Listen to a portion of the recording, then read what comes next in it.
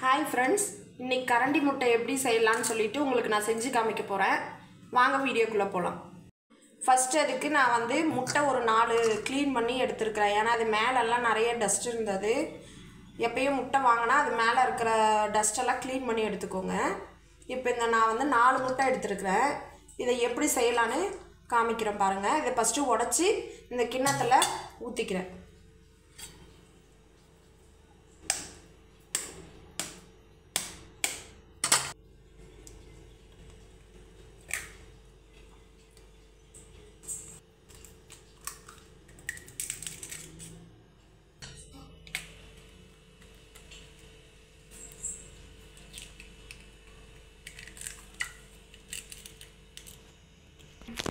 நாலு முட்டையும் உடச்சி ஊற்றிக்கிட்டேன் இப்போ. அடுத்து வந்து மிளகாத்தூள். மிளகாத்தூள் இது நான் வீட்டில் அரைச்ச மிளகாத்தூள் நானே ப்ரிப்பேர் பண்ணது. இது வந்து தூளுப்பு. இது ரெண்டு மட்டும் இருந்தால் போதும் இதுக்கு. டேஸ்ட் சூப்பராக இருக்கும். செஞ்சு காமிக்கிறேன் பாருங்கள் நாலு முட்டையும் இப்போ உடச்சி ஊற்றிட்டேன் இதில் வந்து தூள் உப்பு தேவையான அளவு மிளகாத்தூள் தேவையான அளவு. இது வந்து நான் வீட்டிலேயே செஞ்ச மிளகாத்தூள். நாங்கள் வந்து எல்லாத்துக்குமே இது மீன் குழம்பு எல்லா குழம்புக்குமே இதை நம்ம யூஸ் பண்ணிக்கலாம்.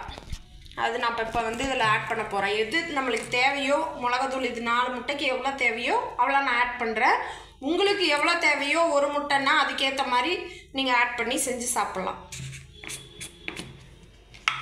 இப்போ நான் வந்து நாலு முட்டை எடுத்துருக்குறேன். நாலு முட்டைக்கு நான் இந்த ஸ்பூனில் ஒரு ஸ்பூன் ஆட் பண்ணுறேன் மிளகாத்தூள்.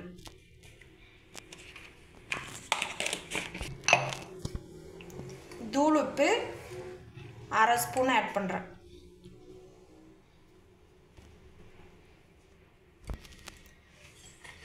இப்போ இதை நல்லா பீட் பண்ணிக்கணும். எ- எந்த அளவு பீட் பண்ணுறீங்களோ அந்த அளவு சாஃப்டாக வரும்.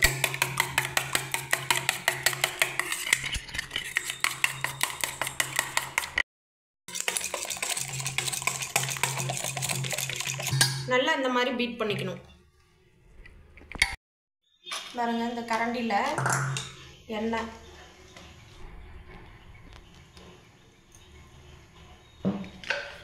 இது வந்து நல்லா ஃபுல்லாக ஸ்ப்ரெட் ஆகுற மாதிரி. இது பண்ணிங்க அப்போ தான் ஒட்டாமல் இருக்கும். அதுக்காக.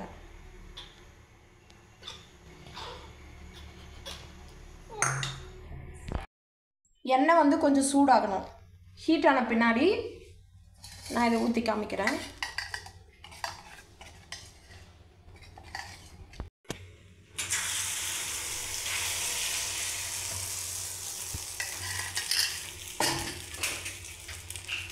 ஊற்றியாச்சு இது நல்லா வேகணும் கொஞ்சம்.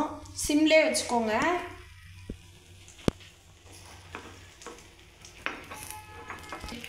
அது கொஞ்சம் நல்லா வேகணும். அதுக்கப்புறம் திருப்பி போடலாம்.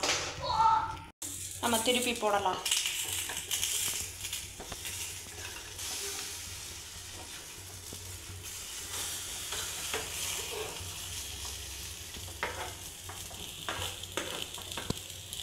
இந்த சைடு இப்போ ஒரு ஃபைவ் மினிட்ஸ் டூ மினிட்ஸ் விட்டாவே வெந்துடும் அதை அப்படியே எடுத்து வச்சுக்கலாம். எடுத்தாச்சு. ரசம் சாதத்துக்கு இது சைட் டிஷ்ஷாக வச்சு சாப்பிட்டா ரொம்ப சூப்பராக இருக்கும். நீங்களும் உங்கள் வீட்டில் ட்ரை பண்ணி பார்த்துட்டு எப்படி இருக்குன்னு சொல்லுங்கள் ஓகே ஃப்ரெண்ட்ஸ் இதை நீங்களும் வீட்டில் செஞ்சு சாப்பிட்டு பார்த்துட்டு எப்படி இருக்குன்னு எனக்கு கமெண்ட்டில் சொல்லுங்கள் சப்ஸ்கிரைப் பண்ணுங்கள் ஷேர் பண்ணுங்கள் லைக் பண்ணுங்கள்